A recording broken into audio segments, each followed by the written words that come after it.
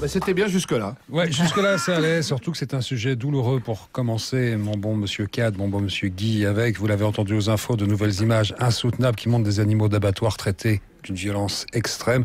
Doit-on maintenant mettre des caméras partout pour éviter que ce genre de pratique ne se multiplie? La question est à l'étude, en tout cas dans les locaux de Radio France, pour arrêter le massacre des stagiaires? Oui, le traitement inhumain des stagiaires du service public doit cesser. Il y a peu, une vidéo tournée en interne, une vidéo terrible dans laquelle on pouvait voir les 250 stagiaires du 7-9 de Patrick Cohen. Stagiaires battus par ce dernier qui exige que tous les jours ils aillent faire du porte-à-porte pour convaincre les Français d'écouter son émission. 250 filles et garçons que Patrick mutile lui-même pour que la population soit prise d'empathie et écoute le 7-9 afin que le massacre prenne fin. Alors bien sûr, on ne les voit jamais, ces stagiaires du 7-9, ils vivent dans les sous-sols de Radio France. Ils sont nourris des rebuts de la cantine. Le dimanche, Patrick Cohen en personne les nettoie au jet avant de leur donner leur objectif de la semaine. Quand ils meurent d'épuisement ou bien de douleur, ils sont vidés, découpés, rejoignent l'étage de la cantine ou en cuisine les attend comme dernière demeure l'espace grillade. C'est terrible, c'est intolérable. Nous sommes en 2016 et pourtant ça se passe ici, en France, à Paris, dans une entreprise publique. Du coup, comme le disent si bien les collaboratrices de Denis Baupin, plus jamais ça. Allez, parlons vacances à présent, des vacances qui s'approchent à grands pas. Cet été, ne soyez pas surpris en arrivant sur la plage. Oui, cet été, les CRS, maîtres nageurs sauveteurs, seront armés sur leur lieu de travail. Armés? Ouais. En maillot? En maillot, mais armé. Alors cet été sur ta plage, une surprise t'attend mon ami. Ne sois pas effrayé par la nouvelle tenue de ton maître nageur sauveteur. Toujours musclé comme un bodybuilder, bronzé comme un Jacques Seguela, il portera toujours le fameux maillot de bain mini mini mini maillot, cachant à peine son énorme potentiel au service des autres et accessoirement un peigne. Il portera encore ses lunettes de soleil avec le petit élastique derrière. Il aura à ses pieds les incontournables claquettes de piscine dans le nom technique et tatane qu'on peut enlever d'un coup de talon. Il sera bien sûr en super forme pour courir au ralenti et secourir les femmes, les enfants, les vieux et les chiens qui perdent pied au milieu des flots infernaux. Mais cette année, petite nouveauté, il portera son arme de service. Ouais, il aura son gun, le maître nageur. Pourquoi?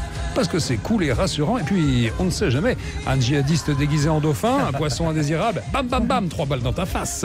Oui, cet été sur la plage, ce sera un mélange d'alerte à Malibu de 24 heures chrono version Village People. Ça va être chaud. Ah bah les maîtres nageurs sauveteurs avec leurs flingues, ça va donner une ambiance particulière. C'est pas plus mal. Ah, vous êtes là, Maréchal Ganache. Affirmatif. Ça vous inspire quoi, les maîtres nageurs armés sur nos plages cet été? Que du positif. La plage est un lieu hostile. Il faut pouvoir se défendre. Comment ça, un lieu hostile? Vous avez déjà vu quelque part une plage hostile? Affirmatif. C'était en Indochine. Oui, en Indo. Oui, je sais, je sais, poursuivez. Contre les Viet... Contre les- Allez, on enchaîne, Maréchal. On peut plus être patriote? Non, mais c'est pas de problème, c'est que... Salaud de gauchiste. Non, non, mais ça n'a rien à voir, on est pressé par le temps. Voilà tout enchaîné, s'il vous plaît. Nous étions en train de nous baigner avec mes camarades légionnaires. Ah, la Légion, Et- pour comme euh.